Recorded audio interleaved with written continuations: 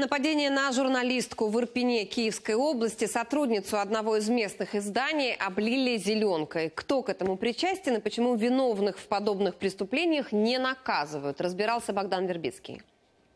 От наскільки нестерпний був біль пекучий, що на перше, що прийшло, спало на думку, а напевно кислота. Рабочий день Ольги, журналистки информационного агентства «Погляд», подходил к концу. Женщина вышла на улицу обсудить с коллегой рабочие моменты, но внезапно на нее напали. Ми сиділи на лавці, ми говорили, говорили, потім вона відійшла по телефону, я пішов сюди. А вона, видно, закінчила розмову, йшла сюди, і от на цьому місці. Напад стався несподівано збоку. Людина бігла із розчином зеленки, ще якоюсь хімічною речовиною, і е, намагалися залити очі. Пошкодили частково одне око.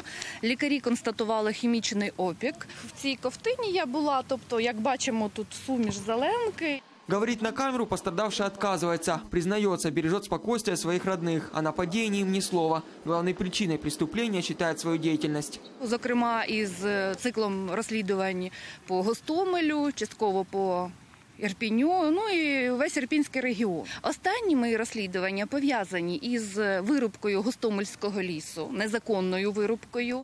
Также считают и в издании Ольги. Подобные действия по отношению к журналистам в редакции фиксировали не раз, а на расследование по горячим следам в издании не надеются. Ровно год назад на этом же месте избили местного адвоката. Виновных до сих пор не нашли. Но вот в случае с Ольгой все может быть иначе. Нападавшего зафиксировали камеры наблюдения. Он отчетливо виден на этих кадрах. В полиции Ирпеня его уже ищут.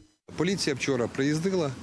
Е, Правда, приїхала вона хвилин за 40 е, після нашого виклику. Вирішиться питання щодо внесення в ЄРДР за ознаками злочину, передбачено статтею 296 частиною першою, саме хуліганство. Остаточна кваліфікація буде залежати від того, чи є тілесні ушкодження, чи немає, і срок буде вирішуватись вже е, по завершенню досудового розслідування.